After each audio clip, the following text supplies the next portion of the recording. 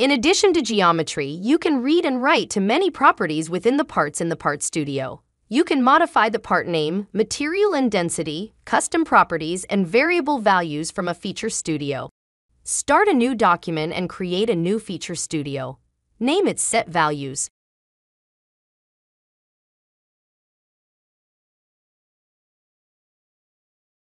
Define the precondition. Add a string parameter for the variable name.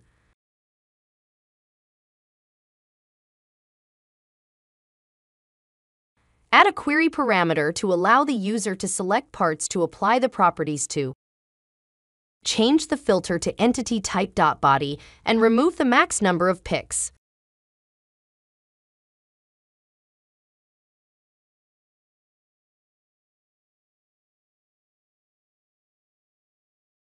Define a constant named value to get the value of the variable. Set it equal to the result of a getVariable function. The getVariable function gets the current value of a named variable. Use definition.variable for the name. Next, create a constant named rounded number and set it equal to the result of a round to precision function. Without this, feature script returns a value with too many significant digits. Enter the value divided by inch for the first argument and 3 for the number of places. Add another constant named value string to format the value correctly for description and part name.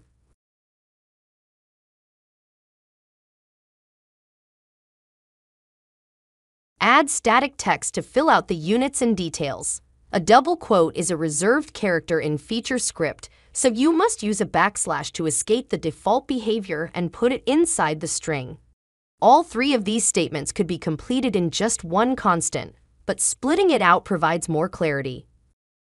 To apply the value to all the user's selected parts, add a for loop.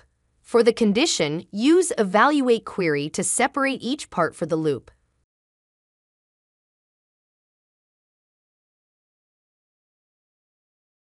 Use the set property function to set the description.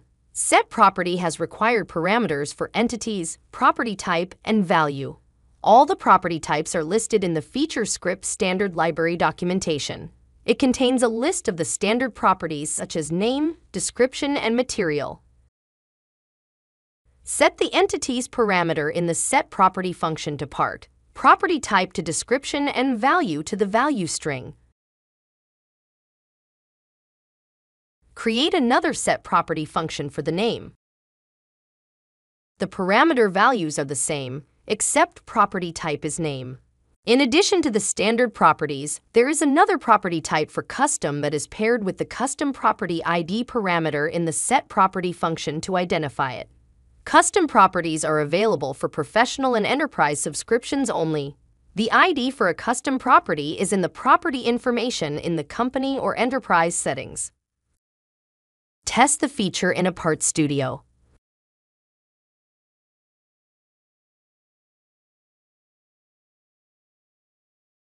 Make a variable called thickness and use it to define the distance of an extrude.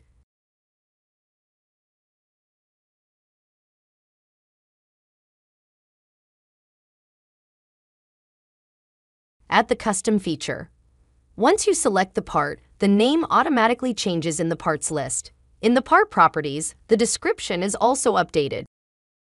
It's important to note that you cannot retrieve the values of custom properties in a custom feature. This is because features are regenerated before any user set properties are applied.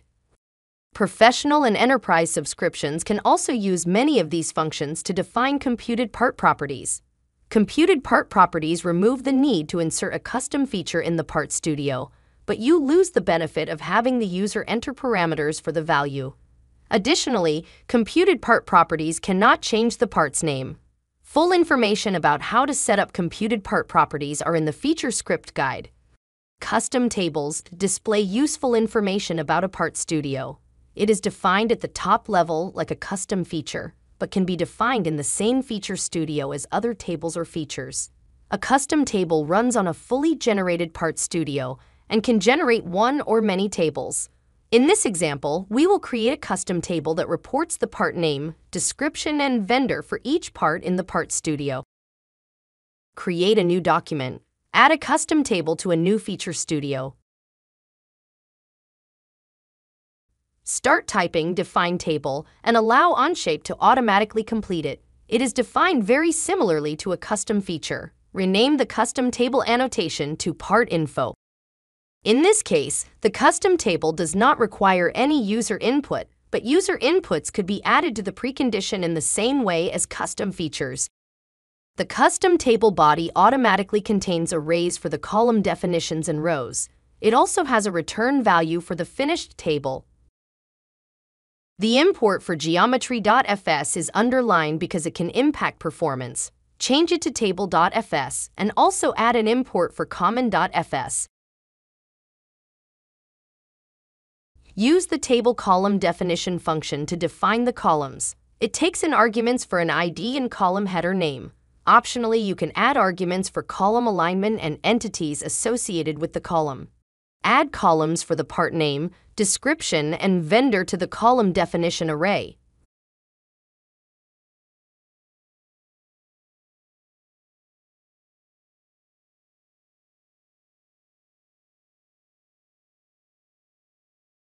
Next, under the array declaration for the rows, define a for loop that cycles through all the parts in the Part Studio. To do this, use the evaluate query function with the Q all modifiable solid bodies query inside the condition.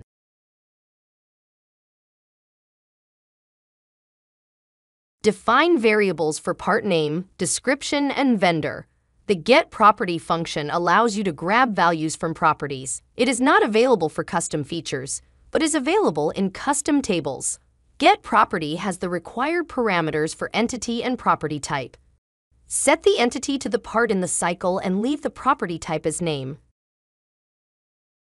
Repeat this for description and vendor, but change property type to description and vendor respectively.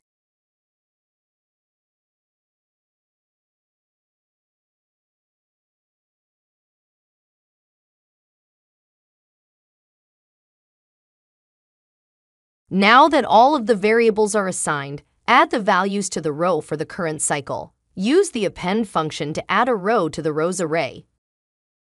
Define a row using the table row function. It is defined as a map using the internal IDs you defined in the column definition.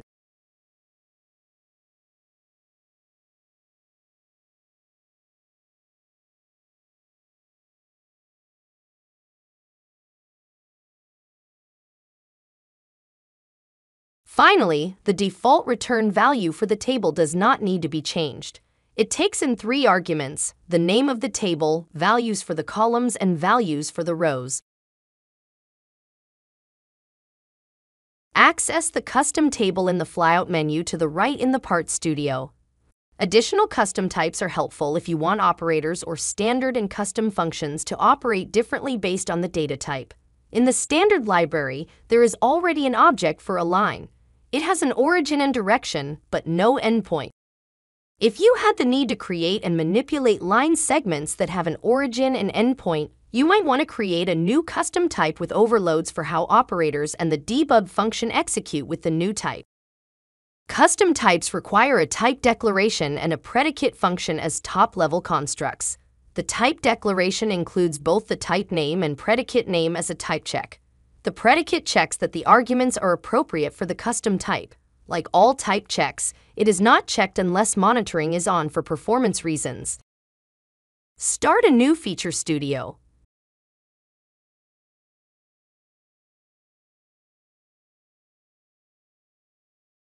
Create a type declaration for a line segment.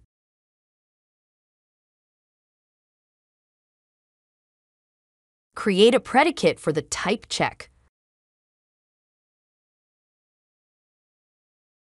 A line segment must be an array with exactly two vectors. Each vector must represent a point in 3D space. Check this by looping through both points with a for loop. Use the is3d length vector function to check that they are both three-component arrays with units. When you create a custom type, you should add a function or several overloaded functions that convert common inputs to the new type. Create a new function named line segment. It takes in two arguments, point 0 and point 1, that are vectors.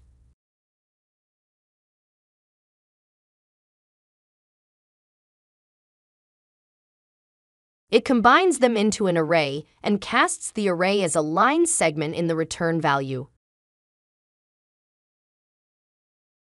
Create a new custom feature and name it line segment.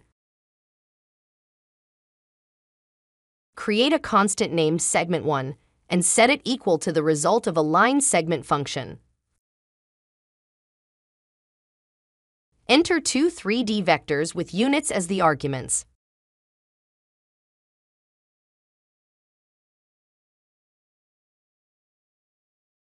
Add a debug to show the segment.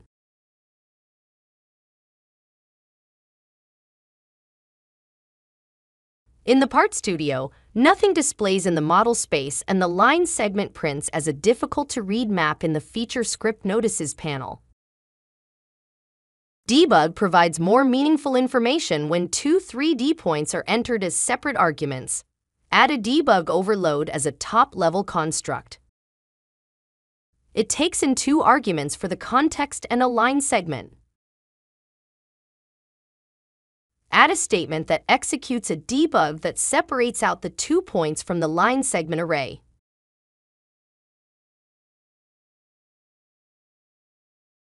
Now, the Part Studio shows a line in the model space. The point vectors and the distance between them print in the Feature Script Notices panel. It is important to consider all functions and operators that need to be overloaded so that they execute in a way that makes sense for a new custom type. Add a new constant named segment2 and set it equal to segment1 multiplied by 2. Add a debug function to show the result. In the Part Studio, it fails because the multiplication operator does not know how to handle line segments. Add an operator overload to the Feature Studio. Declare it with an operator followed by the symbol with no space. Add arguments as you would for a function. It takes in two arguments for a number and a line segment and returns a line segment.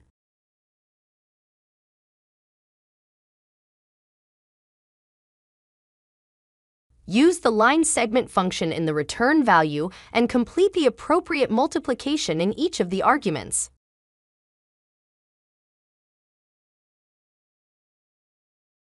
The line segment could be the first or second argument, so repeat the operator overload for both scenarios.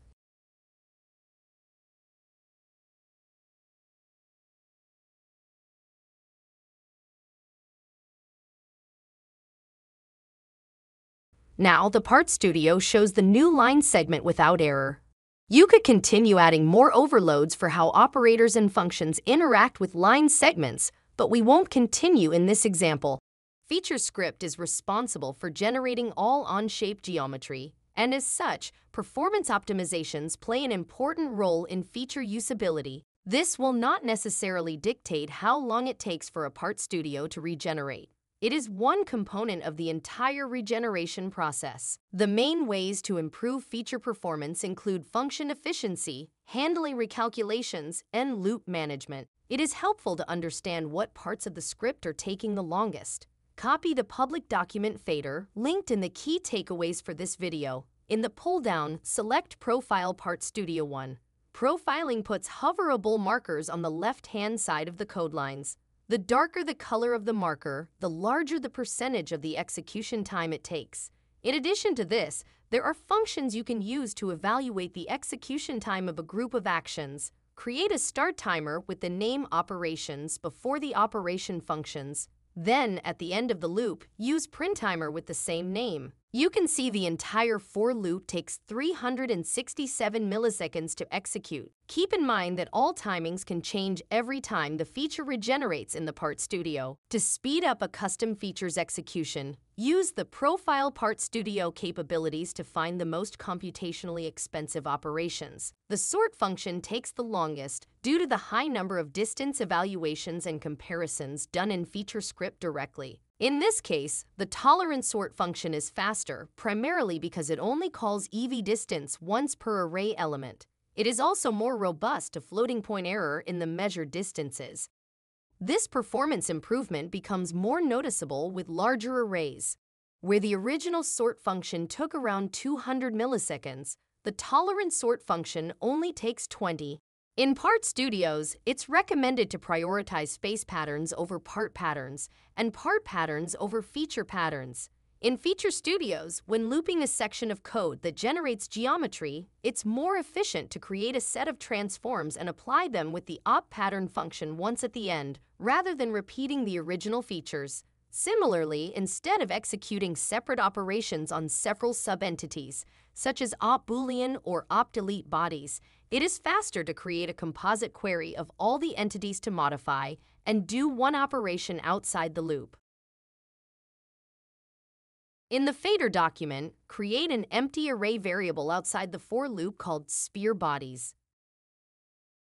Copy the query from the op boolean command and add it to the sphere bodies array by using the append command, creating a list of queries corresponding to the generated spheres.